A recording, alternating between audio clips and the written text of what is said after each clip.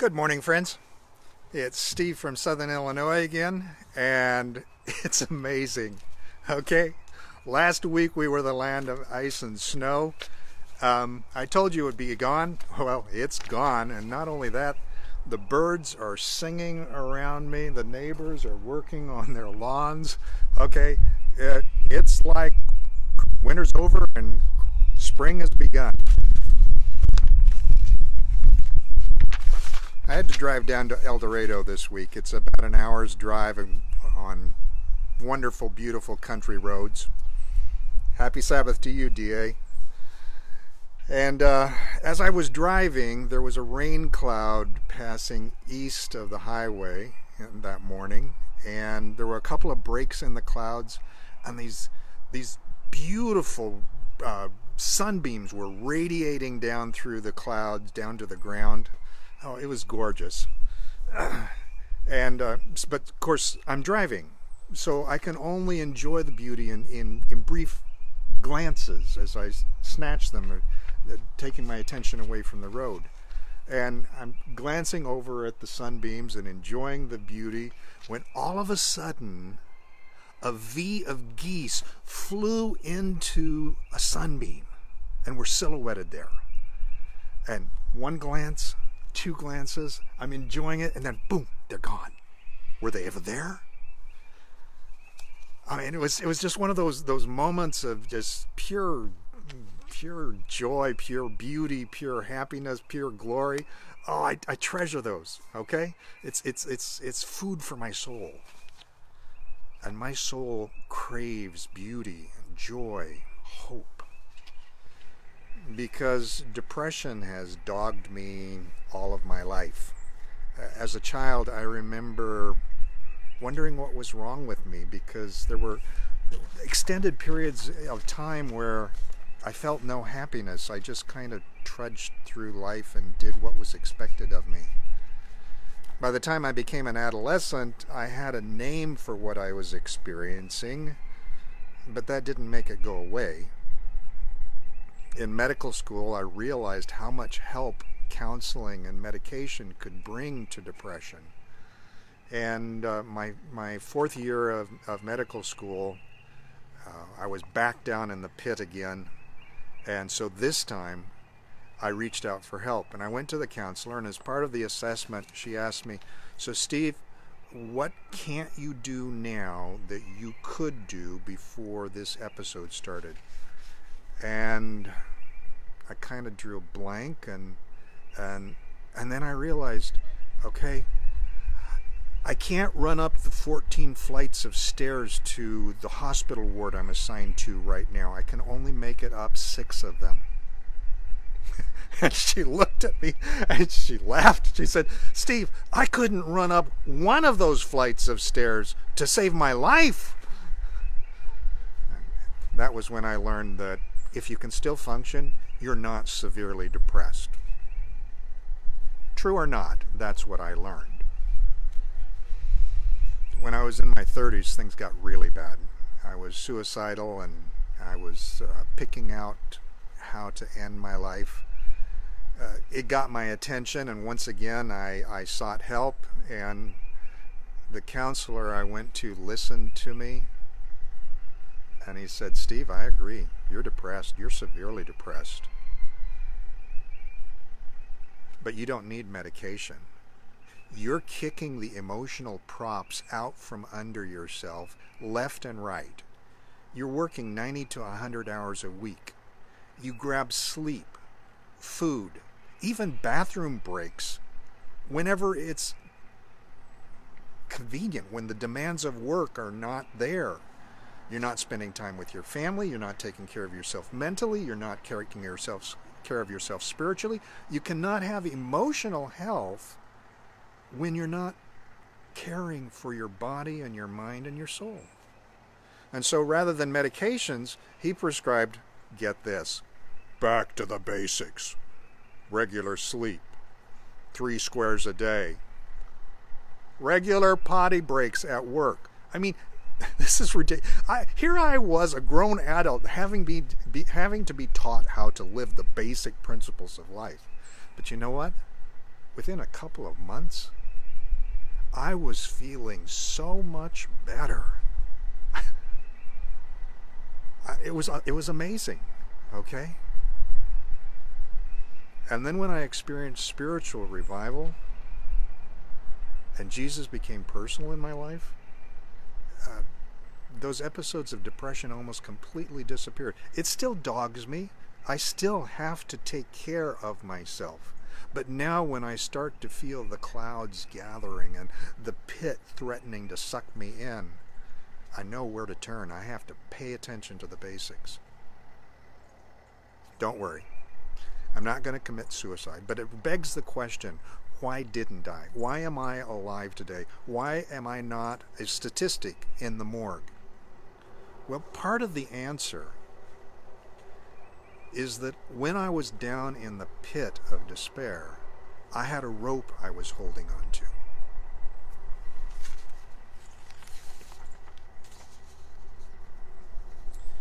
to. Every morning when I woke up, in those brief moments between unconsciousness and total awareness, I had this sense of someone leaning over my bed, not in a threatening fashion, but leaning over my bed in compassion, concern, confidence, and joy that I was there. I called it my Abba experience. It was it embodied to me what I thought of as the ideal father's attitude towards his child.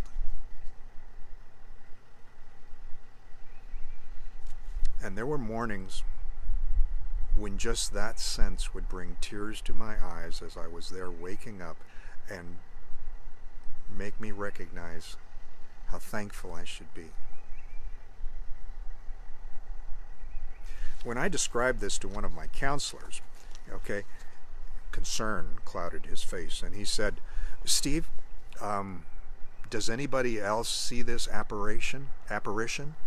and I kind of laughed and said, I don't see this apparition. There's nothing to see. It's it's not a, a hallucination. It's it's a sense. It's a feeling, a gestalt.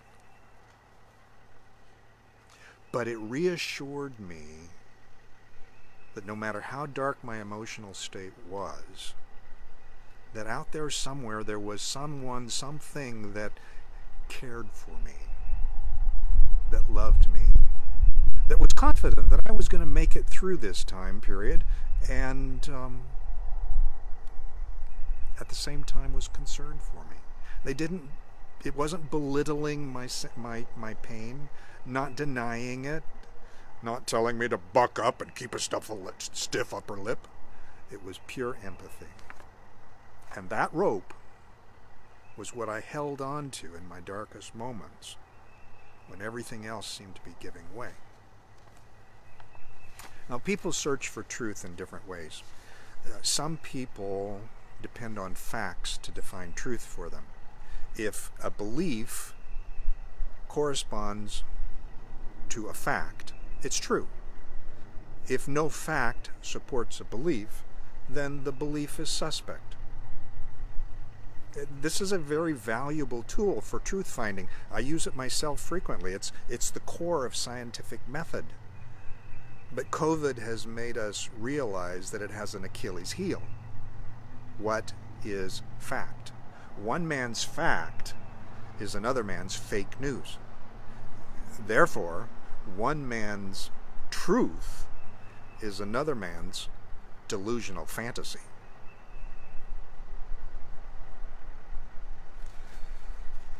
Non religious people tend to de- depend on physical facts, aka science, or uh, popular facts, popular opinion.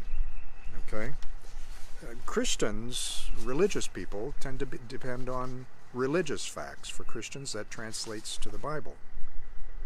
The facts that you choose have a strong influence over what you believe is truth and what is not. Now, other people choose to find truth uh, through appealing to a cohesive body of beliefs. If a belief correspond, cor, uh, if a belief matches up with that body of beliefs, then it's probably true. If it's if it doesn't match, then they reject it outright. Uh, once again, in the religious realm, this is very common. People uh, look to what their pastor says or uh, what their favorite theologian uh, teaches, this comprehensive body of beliefs, and if something doesn't disagree, doesn't agree with that, they reject it. If it if if a belief agrees with it, then they incorporate it. But this isn't just religious people that do this. I mean, think of Facebook. It happens all the time. Disagree with me? Unfriend. And we create these silos of only people who talk like us. It's the same thing. If you don't agree with me, you're out of here. And then there's experience. Okay? If a belief correlates with my experience, then I'm satisfied believing it. Based on my experience. If it correlates with the experience of my friends and the people I identify with, then it's just common sense to believe that. But this puts truth into a very personal aspect.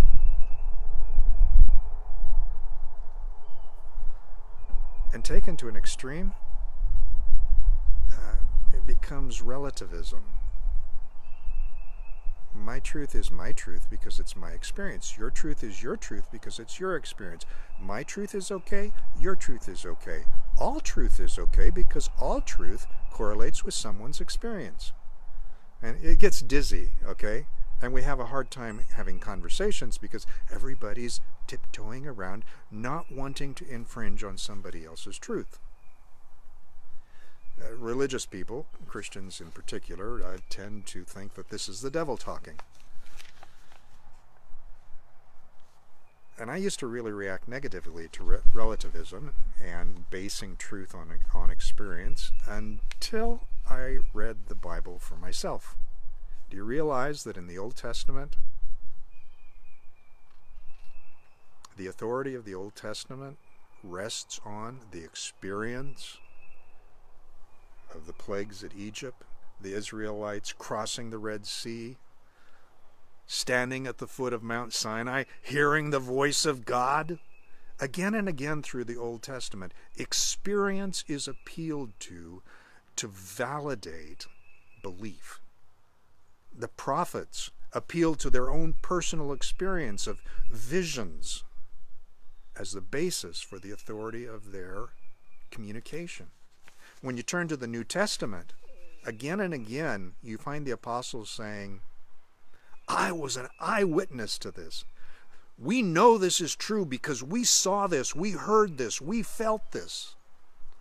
Experience is the foundation on which the Bible writers claimed the validity of what they were saying, of what they believed my Abba experience has become for me just such a truth. It's a rope that pulled me out of darkness, a promise of light and hope that kept me alive. I didn't, don't need facts or philosophy to validate that truth for me anymore. I have experienced it. I was reminded of that this week when I was attending yet another funeral. I've had quite a few of them in the recent past. This time it was the father of a friend who had died, and her brother, who is a pastor, was sharing what his father had meant to, to him, and he said something that really touched me. He said, My father chose me. Not many of us can say that, okay? My father chose me. His father had been a Vietnam vet. He had um, come back from the war, bruised and battered, and thrown himself into work. And he was in his mid 30s before he got to the point where he chose to marry. And but the woman that he loved came with baggage. And in the words of the speaker, She had three children who were a handful. My father chose me. His father chose to marry his mother despite the three children. No, not despite the ch- three children. He couldn't wait to spend time with them. He couldn't wait to work with them, to play with them, to love them. My father chose me. That's the core of my Abba experience. My father chooses me. You know, we as Christians often miss that point emotionally, experientially. Jesus came to save the world. We have a mission to tell the world. And we miss the point that Jesus came for me. Jesus loves me. One of the authors of the Bible says, He chose me before I was even formed in the womb.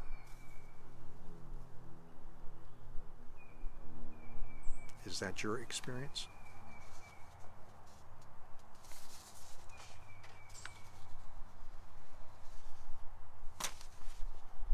Now, you can dismiss my truth as a fantasy. You basing your truth on the experience of what happens to you in that quasi state when you're waking up? It kept me alive, friends. It corresponds to facts that I accept as true, but you may not agree with those facts. We each have to choose. It fits with a cohesive system of belief that I accept, but you may not accept that same body of beliefs. We each have to choose. It derives from my personal experience, not yours you can choose whether to accept my experience because you identify with me or to reject it and say, if it doesn't happen to me, it didn't happen. You see, each of us has the power of choice, the freedom to choose. So often, when we're seeking truth, we think of ourselves as being bound by the facts if the facts say this, I have to believe this. Or we use the body of beliefs to, to create walls. This is in, that's out. And we miss the point that we have the freedom to choose. Now, this sounds dangerous, okay? And it's radical. But when the Bible says, Choose ye this day whom you will serve. It's referring to that very fact. It didn't say, You're stupid if you don't believe. No. It said, Choose, make a choice. You'll have to live with the consequences of the, that choice, and really none of us know for sure what the consequences will be. We know what we hope, we know what we believe, but we don't know for sure. But what I can tell you is that this personal experience, this rope of hope, this sense that there is more to life